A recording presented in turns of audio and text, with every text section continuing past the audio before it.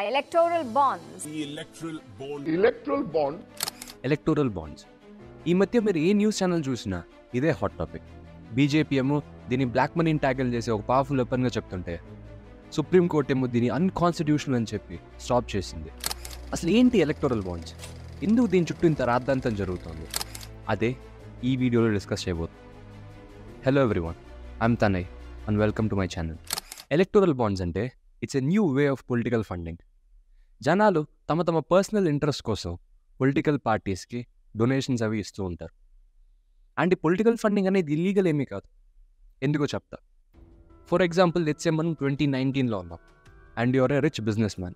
And your a పక్కా హిందూ. మీకు అయోధ్యలో రాముడి గుడి లేదు అన్న బాధ ఎప్పటి నుంచో ఉంది. అండ్ అదే టైంలో బీజేపీ తన ఎలక్షన్ మేనిఫెస్టోలో రాముడికి గుడి కడతాము అని చెప్పేసి ఒక ప్రామిస్ చేసింది. అండ్ చూసిన వెంటనే మీకు బీజేపీకి ఓటేయాలి బీజేపీని గెలిపించాలనిపించింది మీరేం చేస్తారు? వెళ్ళి బీజేపీకి ఓటేస్తారు. మీరే కాకుండా మీ ఫ్రెండ్స్ అండ్ ఫ్యామిలీని కూడా తీసుకెళ్ళి ఓ పది మంది చేత ఓట్లు వేయిస్తారు. కానీ ఆ పది ఓట్లతో మీరు బీజేపీని ఇండియా వైడ్గా గెలిపించలేరు కదా. సో ఇప్పుడు మీరేం చేస్తారు? మీ ఆస్తిలో లేదా మీ కంపెనీ ప్రాఫిట్స్లో కొంత అమౌంట్ని బీజేపీకి తన క్యాంపెయినింగ్ కోసం ఫండ్స్ని డొనేట్ చేస్తారు. ఇదే పొలిటికల్ ఫండింగ్. అండ్ ఇది ఇంకా వేరే రీజన్స్ కూడా జరుగుతుంది టీడీపీ గెలిస్తే అమరావతిని క్యాపిటల్ చేస్తామంటున్నారు. అదే కాంగ్రెస్ గెలిస్తే తిరుపతిని క్యాపిటల్ చేస్తామంటున్నారు.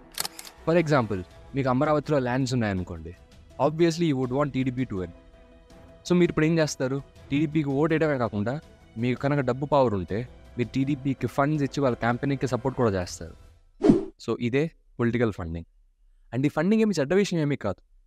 కానీ ప్రాబ్లం ఎక్కడ వచ్చిందంటే ఈ ఫండింగ్ ఇదివరకు క్యాష్ ద్వారా జరిగేది అండ్ ఫిజికల్ క్యాష్ ఇన్వాల్వ్ అవటం వలన ఇందులో బ్లాక్ మనీ ఎక్కువగా చేతులు మారేది which uses to affect the economy అందుకనే దీన్ని ట్యాకిల్ చేయడం కోసం ట్వంటీ సెవెంటీన్లో అప్పటి ఫైనాన్స్ మినిస్టర్ అయిన అరుణ్ జైట్లీ గారు ఈ ఎలక్టోరల్ బాండ్ అనే స్కీమ్ని పట్టుకొచ్చారు जो इलेक्टोरल बॉन्ड्स की योजना थी जिसकी बजट में मैंने घोषणा की थी उसको संसद के सामने रख दिया है అండ్ ట్వంటీ ఎయిటీన్లో దీన్ని గవర్నమెంట్ ఆర్డర్గా పాస్ చేశారు లెట్సే మీరు ఒక పార్టీకి డొనేషన్ ఇద్దాం అనుకుంటున్నారు. అప్పుడు మీరు ఏం చేయాలి? కొన్ని సెలెక్టెడ్ బ్రాంచెస్ ఆఫ్ ఎస్బీఐకి మీరు వెళ్ళి మీరు డొనేట్ చేద్దాం అనుకుంటున్న అమౌంట్ని వాళ్ళకి చెక్ ఆర్ ఎలక్ట్రానిక్ రూపంలో పే చేసి అందుకు తగ్గ ఎలక్టోరల్ బాండ్స్ని మీరు పర్చేస్ చేసుకోవచ్చు. దాన్ని మీరు ఫిఫ్టీన్ డేస్ లోపల మీకు నచ్చిన పొలిటికల్ పార్టీకి మీరు సబ్మిట్ చేస్తే వాళ్ళు దాన్ని క్యాష్ చేసుకుంటారు. మీరు ఏ పార్టీ పడితే ఆ పార్టీకి ఈ బాండ్స్ని సబ్మిట్ చేయలేరు. ఒక పార్టీ ఈ ఎలక్టోరల్ బాండ్స్ని యాక్సెప్ట్ చేయాలి అనుకుంటే అది ఫాలోయింగ్ రెండు క్రైటీరియాలని సాటిస్ఫై చేయాలి. ఒకటి it should be a registered political party and రెండు దానికి ప్రీవియస్ ఎలక్షన్స్లో వన్ పర్సెంట్ ఓట్ షేర్ అయినా లభించి ఉండాలి ఒక పార్టీ ఈ రెండు క్రైటీరియాస్ని సాటిస్ఫై చేస్తే మాత్రమే it can encash an electoral bond మీరు ఎస్బీఐలో అమౌంట్ పే చేసేటప్పుడు అది ఎలక్ట్రానిక్ మోడ్లోనే జరుగుతుంది కాబట్టి మీరు బ్లాక్ మనీని యూజ్ చేయలేరు. ఆల్సో వాడు మీ దగ్గర నుంచి కేవైసీ డీటెయిల్స్ అన్నీ తీసుకుంటారు కాబట్టి మీరు ఎటువంటి ఇల్లీగల్ యాక్టివిటీ అక్కడ చేయలేరు. మరి అలాంటప్పుడు ఈ బాండ్స్ మంచివే కదా?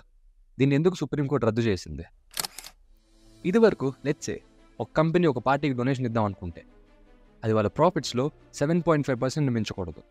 ఆల్సో ఆ అమౌంట్ ట్వంటీ థౌసండ్ రూపీస్ని దాటితే వాళ్ళ పేరుని పబ్లిక్ డొమైన్లో ఉంచడం జరుగుతుంది. బట్ ఈ ఎలక్టోరల్ బాండ్స్ వచ్చాక ఆ రెండు రూల్స్ని తీసేశారు. You can donate how much ever you want and మీ పేరు అనానిమస్గానే ఉంటుంది. ఆల్సో ఏ పార్టీకి ఎంత డొనేషన్ వచ్చిందనేది కూడా ఎవ్వరికీ తెలియదు ఆ పార్టీకి తప్ప.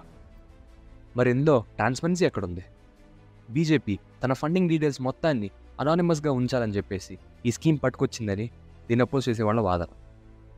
ఆల్సో ఇక్కడ ఇంకొక పెద్ద విషయం ఉంది. అదే క్విట్ ప్రోకో ఇందాక మీకు నేను కొన్ని ఎగ్జాంపుల్స్ ఇచ్చాను.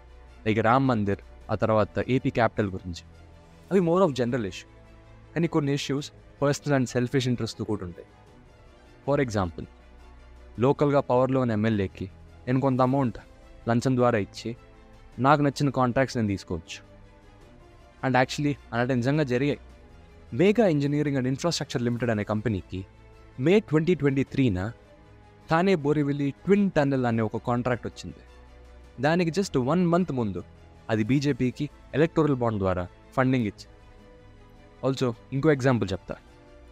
కొన్ని కొన్ని కంపెనీస్ మీద ఈడీ రేట్ జరిగినప్పుడు అక్కడి డైరెక్టర్స్ ఆర్ సీఈఓస్ని అరెస్ట్ చేయడం జరుగుతుంది. అండ్ వాళ్ళని బయటకు తీసుకురావడానికి ఈ కంపెనీస్ ఎలక్టరల్ బాండ్స్ కొని పవర్లో ఉన్న పొలిటికల్ పార్టీస్కి సబ్మిట్ చేస్తాయి.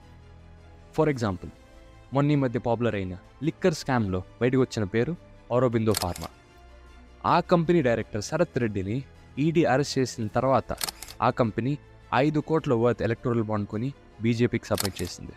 అండ్ దాని తర్వాత he was released so you can follow the pattern here ఇలాంటి కంపెనీలు ఇంకా చాలా ఉన్నాయి. చెప్పాలంటే top thirty companies which bought electoral బాండ్స్లో fourteen companies మీద ఈడీఆర్ ఐటీ రైట్స్ అనేవి జరిగాయి. మనం డిస్కస్ చేసిన అన్ని రీజన్స్ వలన ఈ ఎలక్టోరల్ బాండ్ అనే స్కీమ్ చాలా కాంట్రవర్షియల్ అయింది. ఎక్స్ ఫైనాన్స్ మినిస్టర్ చిదంబరం గారైతే ఈ ఎలక్టోరల్ బాండ్స్కి లీగల్ బ్రైబరీగా పేరు పెట్టారు. సుప్రీంకోర్టు అయితే వీటిని అన్కాన్స్టిట్యూషనల్ అని చెప్పి ఫిఫ్టీన్త్ ఫిబ్రవరి ట్వంటీ ట్వంటీ ఫోర్న రద్దు చేసింది. రద్దు చేయడంతో ఆక్కుండా దీన్ని ఈ డేటా మొత్తాన్ని బయటపెట్టాలని చెప్పేసి order the issuing bank shall here stop the issuance of electoral bonds State Bank of India shall submit details of the electoral bonds purchased to the Election Commission of India and ఆ డేటాని Election Commission తన వెబ్సైట్లో fourteenth March twenty twenty four release చేసింది. ఇప్పుడు ఏ పార్టీకి ఈ electoral bonds ద్వారా ఎంత ఫండింగ్ వచ్చిందో చూద్దాం. First up is obviously the BJP with six thousand sixty crores దాని తర్వాత ఆల్మోస్ట్ ఒక రీజనల్ పార్టీ అయిన తృణమూల్ కాంగ్రెస్ ఉంది సెకండ్ ప్లేస్లో with thousand six hundred crores surprisingly Congress థర్డ్లో ఉంది with thousand four hundred crores and fourth ప్లేస్లో మన తెలంగాణ పార్టీ బీఆర్ఎస్ ఉంది with around twelve hundred crores BJP అంటే పవర్లో ఉన్న పార్టీ. సెంటర్లోనే కాదు చాలా స్టేట్స్లో పవర్లో ఉంది. సో ఆబ్వియస్లీ అదే టాప్లో ఉంటుంది అనుకున్నా కానీ దానికి మిగతా పార్టీస్కి ఇంత డిఫరెన్స్ ఉంటుందో అనుకోలేదు. ఆల్సో నాకు సర్ప్రైజింగ్గా అనిపించింది ఇంకో విషయం ఏంటంటే ఒక్క స్టేట్లో ప్రామినెన్స్ ఉన్న బీఆర్ఎస్ అండ్ టీఎంసీకి ఒక నేషనల్ పార్టీ అయిన కాంగ్రెస్ పార్టీ రేంజ్లో ఎలక్ట్రల్ బాండ్స్ వచ్చాయి. నాకైతే చాలా సర్ప్రైజింగ్గా అనిపించింది. ఇంకా ఏ ఏ పార్టీస్ ఉన్నాయో చూద్దాం. సెవెంత్ అండ్ ఎయిత్ ప్లేసెస్లో మన పార్టీస్ అయిన వైసీపీ అండ్ టీడీపీలు ఉన్నాయి.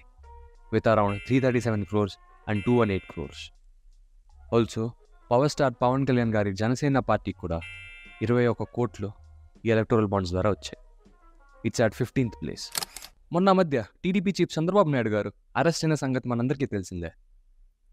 ఆ స్కిల్ డెవలప్మెంట్ ఫియాస్కోలో టీడీపీకి ట్వంటీ సెవెంటీన్ ట్వంటీ ఎయిటీన్ పీరియడ్లో around twenty seven crores worth electoral bonds వచ్చాయని చెప్పేసి సిఐడి తన ఇన్వెస్టిగేషన్లో తెలిపింది. అండ్ ఈ విషయం తెలియగానే వైసీపీ వాళ్ళు నానా రచ్చా చేశారు. అండ్ దానికి కౌంటర్గా టీడీపీ వాళ్ళు వైసీపీకి అదే పీరియడ్లో around ninety nine crores worth electoral bonds వచ్చాయని చెప్పేసి కౌంటర్ వేశారు. అంటే నాకంటే పెద్ద దొంగ వాడు అని చెప్పేసి కౌంటర్ ఇచ్చినట్టు ఉంది. So that's the video guys video నచ్చితే లైక్ చేయండి. ఆల్సో ఫ్రెండ్స్ అండ్ ఫ్యామిలీకి షేర్ చేయండి. అండ్ ఫ్యూచర్ మీకు ఎలాంటి టాపిక్స్ కావాలనేది కామెంట్ సెక్షన్లో టైప్ చేస్తే దాని మీద వీడియోస్ చేస్తాను అండ్ ఇలాంటి ఛానల్ మీకు నచ్చితే సబ్స్క్రైబ్ చేయండి. ఐమ్ తనే థ్యాంక్ యూ ఫర్ వాచింగ్